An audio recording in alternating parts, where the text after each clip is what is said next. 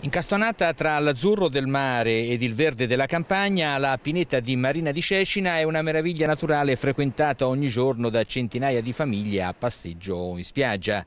Purtroppo questo polmone verde combatte da anni con un problema tremendo, l'erosione costiera che inesorabilmente ne divora metri preziosi abbattendo decine di piante sane.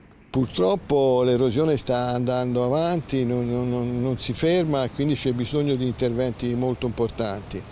In questo momento noi stiamo facendo un intervento grazie a un finanziamento della Regione che è sicuramente un intervento tampone, però in qualche modo può diciamo, limitare i danni. L'avanzamento del mare pare inesorabile, difficile individuarne l'origine, anche se l'ipotesi più probabile pare essere riconducibile al repentino cambio delle correnti.